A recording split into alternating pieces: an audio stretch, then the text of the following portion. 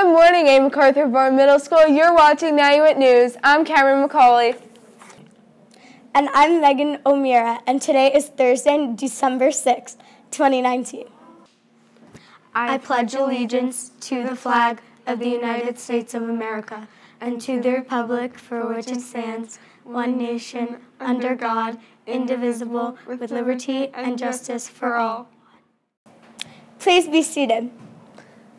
Now let's take a look at the 8th grade Halloween parade.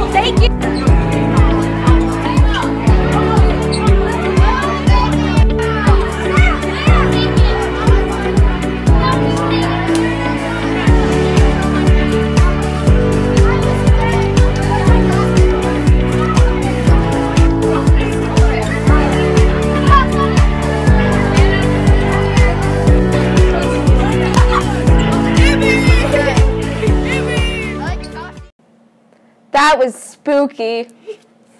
Those were some great costumes. We hope everybody had a happy Halloween. We hope you tune in to the next episode of Nanuet News. But for now, thank you for watching this episode of Nanuet News.